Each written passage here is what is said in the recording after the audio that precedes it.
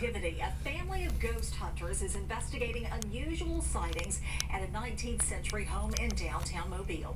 News 5's Lauren Vargas joins us live from the Richards DAR house. Anything unusual going on tonight, Lauren?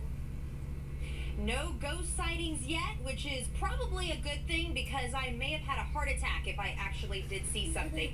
Now, I know this sounds like a story for Halloween time, but it's actually a year-round hobby for this family from Atlanta who heard about the hauntings at the Richards DAR house here behind me and had to check it out for themselves. She stops right here to kind of go like that. And in the mirror, she sees on the sofa right there a man. Susan Tomlinson is talking about what happened to a fellow tour guide a few years ago. She claims the man on the couch was a ghost. Uh, we just feel like it might be Captain Richards and his wife and children, and they are just happy that we're taking care of the house so well. Ghost sightings at the Richards DAR house are quite common. They have heard sounds of children talking, running up and down the hall. Because of that, the historic location has become a popular spot for paranormal investigators, like the Askew family from Atlanta. We're trying to show people that there is something else out there and it wants to talk to us and it wants to communicate with us. They say one of the only times a ghost has been documented is here in this room. Witnesses say they see a man, sometimes a woman, standing at this window. And when they look back, the ghost is gone.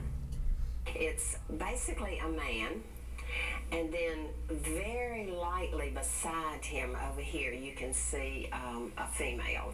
Susan Tomlinson hasn't always been a believer until she accompanied other ghost hunters upstairs and heard for herself. We would ask it um, a question, and we asked, well, I didn't, but one of the guys did, how many people are here?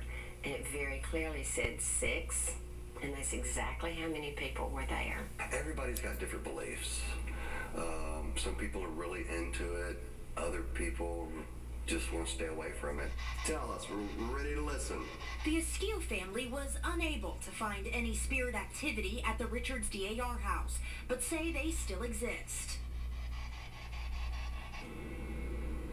We're thinking maybe the ghosts were just camera shy. Now, if you're interested in getting involved in ghost hunting, it's very easy to do. That family bought all of their equipment on Amazon.com. Reporting live, reporting alive in downtown Mobile, Lauren Vargas, News 5. All right. oh, Mel, you're scary enough. Thanks, Lauren. Up next on News 5.